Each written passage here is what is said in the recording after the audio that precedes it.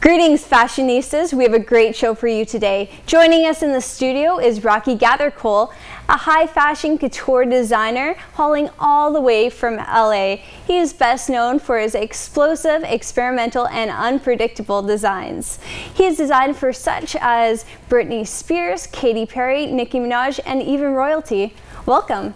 You've been around quite a bit. Uh, so, what are the differences between uh, the Middle East designing there and designing, say, in America and in Canada and in Hollywood? The currency, I guess. The No, currency. Oh. No, it's it's almost the same because people in Middle East they love to they love something uh, different and artistic in their clothing, so it's almost the same. So you were mentioning actually before that in the Middle East, I think in Dubai, uh, that a lot of the women wear headscarves, and you, so you had to kind of design for that as well. Yeah, the the abaya they call it abaya, and the shela to cover their hair. Uh, I do it for quite some time, yes, to to complement their clothes inside, because I'm doing an evening dress every almost every week to my client. The party in Middle East is every week. Every week. Yeah, Actually, the princess, didn't you design how many dresses for her? I did uh, for one princess in Dubai three wedding gowns for Three? different events. How long was her wedding? It, it's the same prince. He's, she's marrying the same prince, but it's royalty, so you have to please every Hmm, I see. every you know. So, have you have you designed for any other royals or any other celebrities? I know Britney Spears. You did all her billboard posters, all the posters. She had the giant V. Um, you you were actually the mastermind behind that. Yeah, I, I did that. Lately, I'm doing with uh, Gwen Stefani. Gwen Stefani. I- I you did it Saturday Night Live. yeah. Saturday Night Live. and J Lo, J Lo, but the big booty, yeah, big big. I'm doing the concert of Thalia on October, and we're preparing the the publicity for Sia, Sia. new looks for Sia. Ooh. That's what we can expect. Can we expect there's- like any certain colors, any design, like pearls or?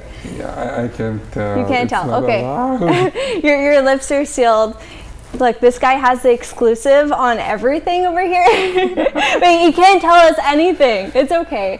Actually, your backstory is very interesting. So you, you actually lived on your own since you were 14. Yeah. You, you lived on the street. Can you tell us a bit about that? I live on the street. I left my dad at 14 because I have an identity crisis.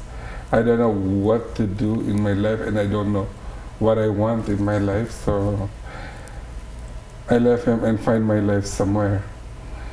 Then up, after after almost eight years on the street, uh, I decided I, I met a Korean where, where did you meet her? on, on the church. Church. you were born again. Yeah, I'm a Christian. Yeah. Oh. how, how did you end up going to church? How was how did that all work out? Because uh, living on the street, it's hard. You you met a lot of crazy people. like Like crazy fashion, like your fashion design crazy, no, or it's really crazy people. Like the I don't know how to. Co- those living on the street, like yeah, of course, of course. And then so crazy. you you met a Korean at church, yeah. and then you ended up getting a job as a waiter. as a waiter, then while working on the restaurant, I have a, a break time from 1.30 to 4.30. Mm-hmm. That is the time I'm doing my things like drawing, designing a clothes, and I buy pencil and Like art supplies. yeah, art supplies. I actually do the self-studying for designing because I cannot afford to go to the school. Mm-hmm. Yeah, I just finished my And then you went to Dubai, No, not not Dubai. I went to Saudi, Saudi first. Arabia, and then you went to Dubai. Then I went to Dubai. How, what was the difference between uh, living there and living, uh, moving to Saudi Arabia? A lot different because in Saudi it's really hard to live there. It's so strict and there's so many don't do this, don't do that. So I'm a law-abiding citizen, but then again, I cannot take it anymore. I have to go to a cosmopolitan city like Dubai. It's beautiful there. The more challenge I got, and I learned a lot in Dubai. Did you feel when you're in Saudi Arabia it kind of took a toll on your creativity, or did, did you feel like there's a lot of pressure on your creativity that you just had to let it out in Dubai? No, it's a challenge in Saudi because uh, there's no sources. Um, fashion TV is, is not allowed. Wow. That's strict. Magazine is not allowed. Like they cover the face in the paper. They cover everything. How did you end up designing there then? Yeah, so that is the challenge for me. That's why I keep on telling I'm an artist first b- before a designer because I try to to squeeze my mind creating something from nothing Do you feel like your religion influenced your designs at all? for sure. It's a gift from God and I believe that. You mentioned that you're praying to God about what to do, and I keep on praying to God for everything, like for asking for new ideas, asking for a lot of things like callers, Whatever I want, I ask. I ask for His blessings. you mentioned before when you were very young, uh, you're asking God, um, "What should I do?" And He said, Yeah. "Use your gifts for design." Because for a long time on the street, like I keep on telling the Lord, please uh, take me out of this street. Uh, I'm kind of shy. Because seriously, someone like me on the street, nobody notice. Like people don't care. They they they come and go and they don't even know that you are there serving them. Do you feel that that humbled you a lot now? Because you're you're a pretty high profile designer. You work with a lot of celebrities all the time. Do you feel that that kind of keeps you grounded? Yeah, and nothing actually changed. It's just I'm talking with celebrity now. So tell me about some of the celebrities that you've been working with lately. You you mentioned a few. You actually did Katy Perry's music video. Yeah, that's the, my first uh, music video with an artist, Katy Perry. But lately I got a lot, like Paulina Rubio. I did her music video.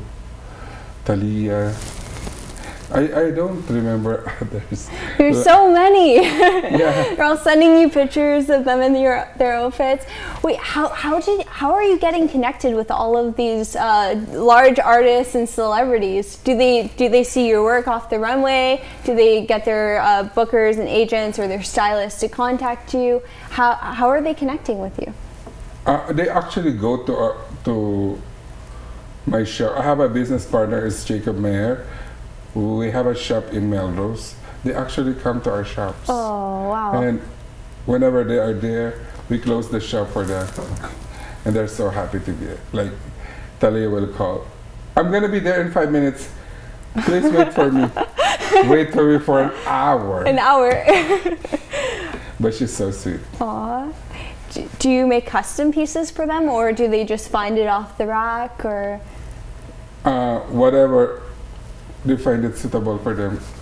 I do most of the time, like for Nicki Minaj, I do a special one for her because She's Nicki Minaj. yeah, she has this body, beautiful body. So I, I know you mentioned that you have a uh, one outfit made of bug wings, uh, beetle wings, or yeah, Beetle Wings, Beetle the, the last my latest collection in Manila.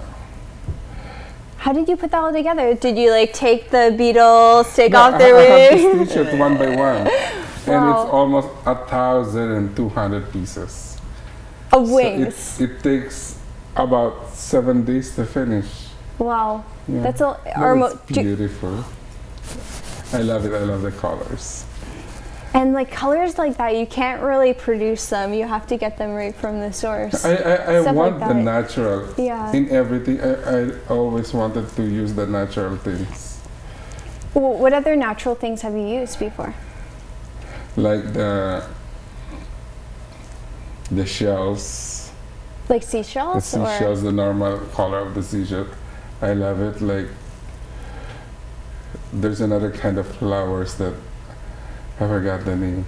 Wait, you've made dresses out of flower petals? Yeah. How long did that take you? Because wouldn't they go Even bad? the original butterfly, I put it in a resin like the Oh, you'd probably put some kind of gloss over it to. yeah. It's looked like an ice. So when you put it Wow. uh, on on her, it's like a real. It's actually a real butterfly on ice Who, inside who the. did you design that for? I did it in, back in Dubai when doing Wow. the photo shoot for some of the celebrities. So for you, is it mostly uh, runway shows or is it photo shoots? You actually did a very interesting photo shoot in New York. I want to bring that up. you actually uh, you didn't get a permit or anything. You went to New York on the street, a little bit risky. I know you're into risks, Yeah. especially with their fashion and everything. And tell me a bit about that. Yeah, I, I stayed in one of the hotel in 42nd Street, and this is my biggest dream, to do a street couture. and I told my told my mother, uh, okay, this is what you do. Go on the street, just keep on walking, and all we have to do is take your photo. Okay. Signal stop. We we bump into each other and take the photos. and the police said, "You cannot do that here." Of course we can. this is this is As long as there's no tripod, right? not only that. It's a busy street for people. I'm so crazy doing that. All my friends said, "Really? Seriously, you do that in New York?" I know you said that you don't have a favorite piece, you couldn't decide, but there's a lot of very good pieces. What would be uh, probably in the top 10? Like most memorable? The the water pieces. What, so, what does that mean? Do, do the pieces actually go in the water or No. do they look liquid? It looked like a water. How did you construct that? Did you use some kind of glue? Because it's very three dimensional. Yeah, I, I used the the E6000 glue. It's transparent, so it won't show while putting the crystals, and and I did that in 2012. Then Paris Hilton wore that in her video in 20. Paris Hilton? Yeah, she wore it in 2014. You've actually designed a few things for Paris Hilton, right? Like a, l- dress. a lot of things. Do you like in- working in- with her? Yeah, she's very nice. Yeah, she seems very sweet. But texting me. not everyone gets texted by Paris Hilton. But it's that different because she's asking for a dress. I want to be pretty. Okay. she won the best dress in Cannes back in 2013. and that was yours. That's my dress. 2013? Yeah, and in Grammy, pre-Grammy, she was all over the news because she's not wearing an underwear. Oh, and that was in your dress. Yeah. Uh-oh. Sorry, Paris.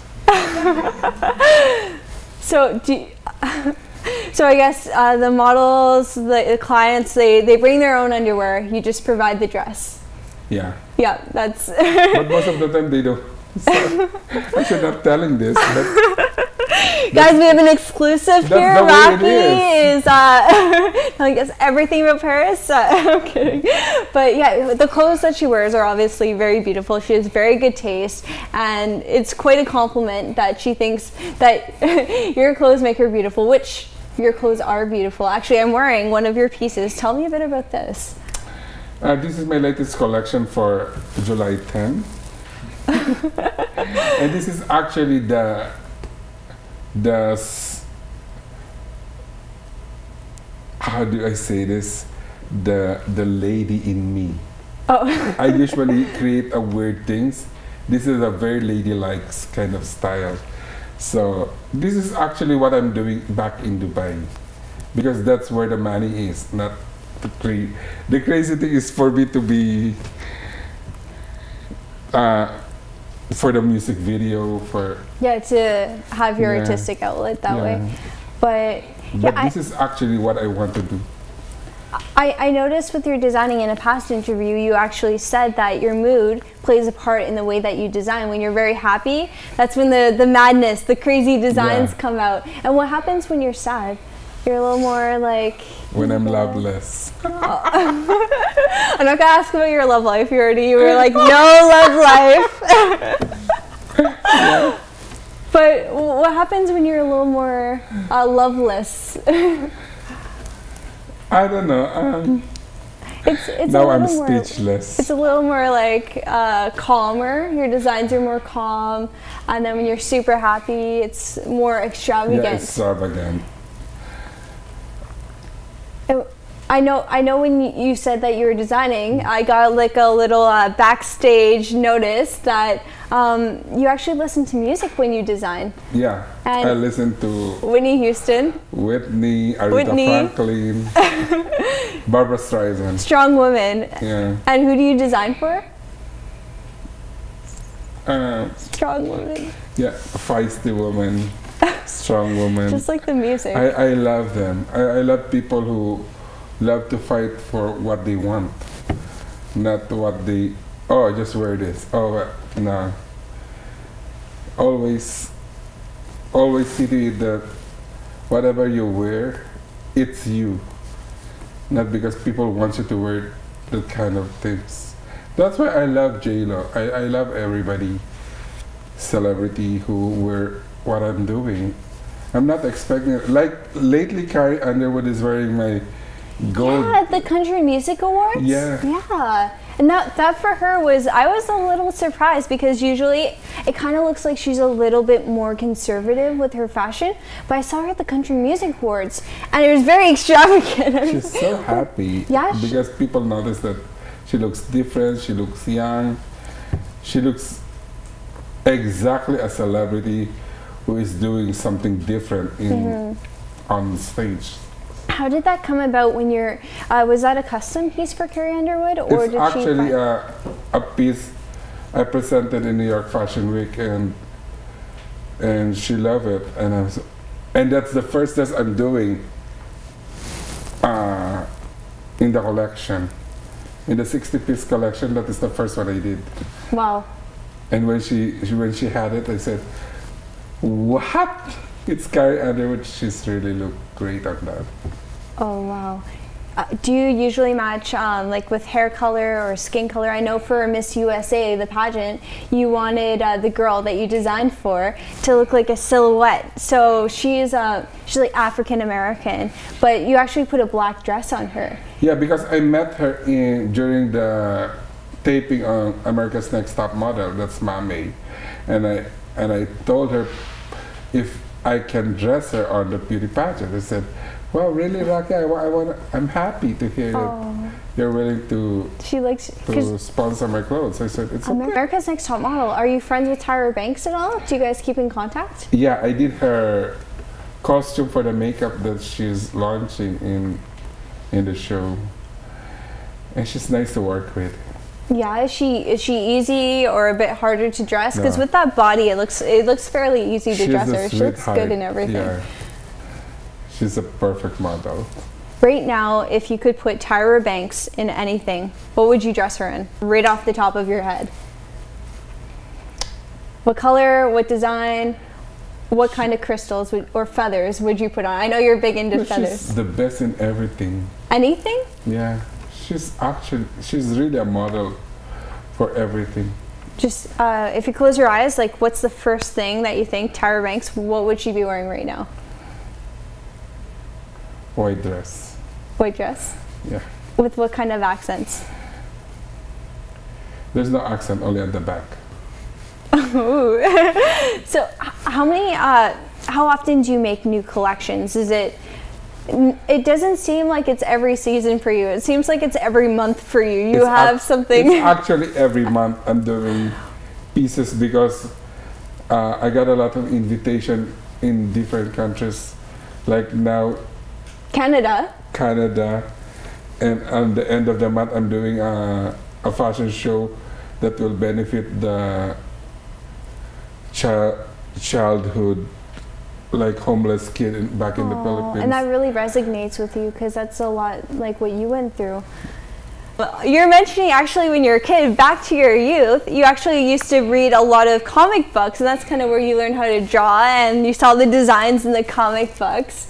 Very true. I love comics because to to someone like me who don't have the means going to school, I learned a lot from from comics, like the facial expression, the body movement, uh, a lot of things. Like I can draw Batman, Superman, Mickey Mouse without looking at them, without uh, just imagining. When I was, I, I, I will tell this. When I was nine, ten years old, I draw Farrah Fawcett, Whoa. Jaclyn Smith, Kate Jackson.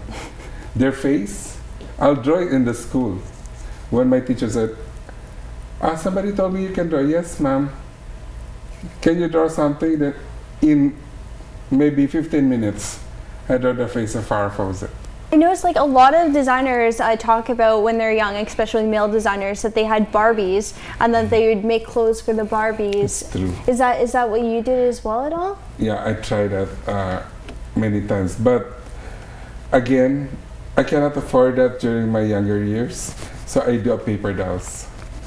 I do my own paper dolls, like I dress a lot of paper dolls during my days, and all my friends they come to me like, "Oh, Rocky, can you do one for me?" Of course, wait. In five minutes, I, I can give you another paper dolls.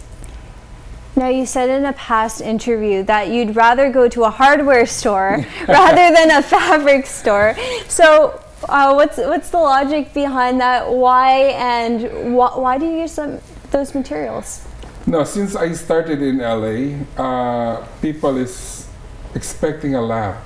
So one day I, I, I'm with my girlfriend, designer, and she's telling me, let's go to this uh, fabric store. There's a lot of, I said, no, I'm fed up with that store. I'll take you to the hardware. What? I said, to the hardware, I want to see something there. What you gonna take there? And just come with me and I'll show you something. Okay. Now we actually have some designs of yours, Rocky. Yeah. They're right here. So we have a male model and a female model wearing some of your couture designs. Here it is. So tell me a bit about uh, the male piece first. It looks like a disco ball almost. Uh, it's, it's more of a gladiator kind of style, but in a in a new era. Oh. it's there's a lot of chains and it looks like a bit of a hunchback at the back or like a Yeah. like almost like popping it. Whoa, look at the back. How, how did you come up with this? What inspired this? It's very LA. Yeah? The the music video, the the people there. This is what they wanted to wear most of the time. Lots of chains. Especially in what's this? There's an event every August, the Burning Man. And then her dress. This actually mix of Western and Arabic. If you notice the crystals, that's very Arabic, but again, the European is doing such things. This is a leatherette flower. Uh, Wow. it was a laser cut leatherette flower and a heavy lace. Did you glue all of this down individually? Because it looks very Some, yes. Three dimensional. Oh, very nice. Thank you guys so much. Thank you. And actually, tell me tell me a bit about this. This is the same kind of leather flower on my dress, right? It's a laser cut with a different uh, laces. I love mixing things. Also, I noticed with uh, the Katy Perry outfit, it was a little bit different. Where it, it was almost like this this mold. It was like a gold Yeah, mold. it's acrylic. How- acrylic. Yeah, I do it myself. How, how do you make acrylic designs like that? How does do you twist things? Is it really hot when you're working with it, or Nobody see it because I'm alone in my room while doing it. So you lock yourself in, I put on some music, some Whitney Houston, you're jamming out with your mannequin, you're putting things on, some acrylic. That's that's actually what I want uh, people to to see in my dresses. I want them to love it and and leave a question after. So that's the question I don't answer. To start a conversation. The first time I went to America, that is my biggest dream to work to Victoria's Secret and for them to to hire me as well. So unfortunately, it never happened. but I'm happy where I am now. I'm I'm in Hollywood. Like everybody now is working with me and love to work with me there. It's, it's almost the same thing. Almost. Uh, no, the, the, the, designing that you're doing is absolutely amazing and such high profile clientele. Actually, speaking of collaborations, do you ever think you'll do a collaboration with, I know earlier in your childhood, uh, comic books were a very big influence with you. Do you ever think you'll, you'll do a collaboration with Stan Lee or any kind of comic or action hero? Like, oh, superhero movies, that's really big right now. Can you see yourself doing anything for film? Yeah, actually, yes. I, I I have an offer, but I cannot talk about it. That's okay. It, that's okay. So you love Sale. Maybe I'm not soon. Maybe soon. Soon, yeah. Okay, we're going to take a quick break. We will be right back with Rocky, and we'll be talking about his new Canadian runway show coming up. Welcome back to Inbox with Julia Cosby. We're back with couture designer Rocky Gathercole and the rep for couture culture and arts, Leslie. Hello. There's a big show coming up. Um, so Rocky has um, come in for CCA, which is Couture Culture and Arts Canada.com and is our website, but this is the organization that we represent. Um, and with that, um, we're fortunate to, and blessed to have um, Rocky come and do a, an amazing lineup this week. Um, we have a huge, huge fashion um, event happening on Sunday. Um, and that will be a red carpet VIP event. there are tickets available for that. Now you guys are actually doing something a little bit unique with this show with other designers actually. Tell me a bit about that. Um, so we have, name a few, we have Rocky Gathercole, which is our feature designer. Um, Tris Lucid will be also in the house, and Zia Zamora is one of our other designers to mention a few. Um, it'll be a spectacular evening. Yeah. Tell me about, are you excited for this event? It's your first Canadian show. Yeah, I'm overwhelmed. Overwhelmed. Being, just being here, I'm overwhelmed already and showing my collection on July 10th. That's that's it. That's it. That's it. That's it. That's all. Except for next time when you come back, and you'll have to come back because you said you love Canada. Yeah. Uh, so what can we be expecting? You, you also mentioned that you, you have a new uh, collection every single month. So has this collection been seen before, or is it uh, half of it? Yeah, half of it. before, but so we have we have a bit of a sneak peek up here in Canada, eh? Uh, but um, yeah, so tell me a bit about what we'll be seeing in the show. It's a black and white collection, so black and white. Ooh la la. Oh, that's kind of black, white, and silver. Yeah. It's kind of like the, his. The guy is on silver, but the girl is on black and white. You have a, a very special model walking. She's blonde. You you might have known her for like a. Yeah, I think I'm talking to her now. Yeah. Who is she? right here. I'm, I'm walking in his show actually. Yeah. it's going to be fantastic. I, am excited to see what you're going to dress me in. And uh, we'll, we'll catch the show and we'll, we'll see what I'm wearing. Thank you, Rocky. Thank and you very much. Thank you for having me. This is a big thing for me. It's going to be exciting to see you on that runway, Julia. It's, it's going to be a great show. Thanks for viewing in and watching what matters to Canadians most. We'll see you next time. Bye.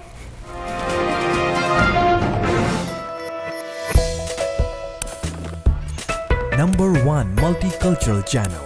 This is TAG TV.